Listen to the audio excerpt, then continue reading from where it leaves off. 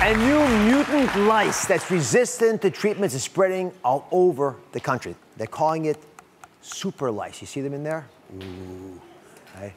And they're going to settle it for good today. We're going to be asking, should you worry about this mutant super lice, or is it just hype? Whoa, jeez. Oh, I'm sorry. You want to hold it for me? Nah, you're not too happy about it. All right. So I asked entomologist Jeffrey White to join us with the latest information. So where do these super lice come from? And why is it so hard to kill them? Well, they're the same lice we've had for decades, but what's happened is they've been exposed to so many over-the-counter products through the years, they've built up a resistance to many of the active ingredients we use. And it's not just an issue for kids. You argue there's a lot of adults who unwittingly are walking around with lice. The longer they persist inside your house, and people take sometimes days or potentially weeks to find the problem, and then days or weeks to control it, it increases the chance they transfer to either you or I as an adult. They look so peaceful in there. Yeah, I don't know that I'd call them peaceful. All right, stick around for a second. Let's get to the issue of how you're going to treat yourself. We've got Maria Botham to show us how to track them down so you get rid of these little babies before they spread in your house. I mean, they are so small. How do you spot them?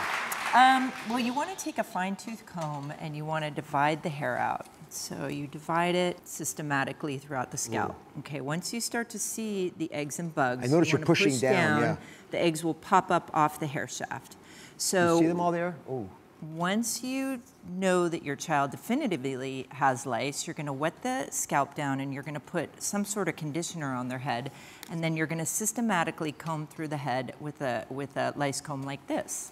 So then you're gonna wet the hair down, you're gonna comb out in all different directions, mm. front to back, back to front, side to side, until you find no more activity. Mm -hmm.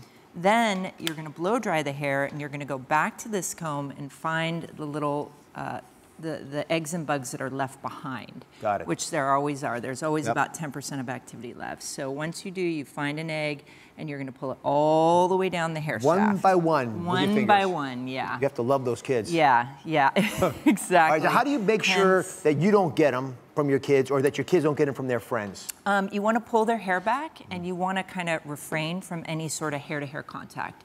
They don't jump or fly, which is the good news. So the way people get head lice is through hair-to-hair contact. Hugging. I Hugging, knew we shouldn't hug. Sleepovers, yeah, all that good stuff. So. And, and this ancient remedy my wife loves, tea tree oil. Yeah, tea tree oil is great to use when you hear about a, um, a breakout, so you want to use it around the border of the scalp. And that kind of helps ward out the lice. So we've settled it here for good. Don't panic, because while it's everywhere, these super uh, mutant uh, little lice, there, and you may be infected, as I say this, it's not dangerous. It's just annoying to treat. You can stop them from spreading by hunting them down. You can find the Lice Hunter's Checklist, which is meticulous about how to fix this on DrOz.com. Up next, cupping. Ever since Michael Phelps flashed his purple spots as he won those gold medals, everyone's been trying it. But is it for you? We'll find out.